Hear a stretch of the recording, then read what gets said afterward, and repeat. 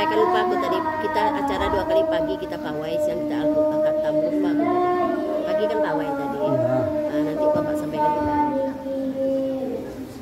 pawai kan juga.